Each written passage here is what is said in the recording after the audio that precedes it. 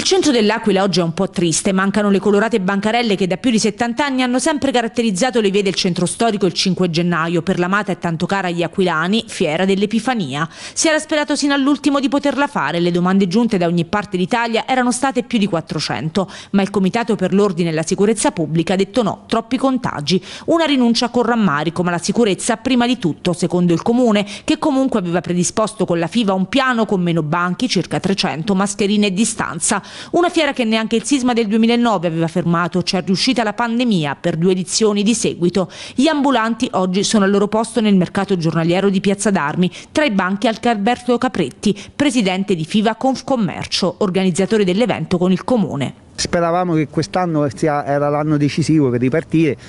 però purtroppo eh, negli ultimi periodi di dicembre è andato a peggiorare e giustamente la prefettura insieme al vice sindaco Raffaele Daniele si è deciso di eh, rimandarla al prossimo anno con grave perdita per gli operatori perché gli operatori sono due anni che stanno veramente in crisi, guarda io dico, faccio il rappresentante regionale degli ambulanti e stiamo veramente fortemente in crisi, non è colpa di nessuno, è colpa del Covid-19, però tutti gli amministratori ci stanno vicini, però più di questo non si può fare, guarda. la salute dei cittadini è primaria perché la salute dei cittadini siamo noi prima cittadini e poi imprenditori, cioè noi dobbiamo capire, infatti nessuno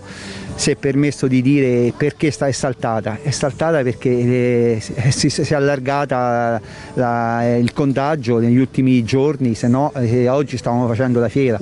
era una cosa veramente, la giornata oggi era stupenda come quella dell'anno scorso,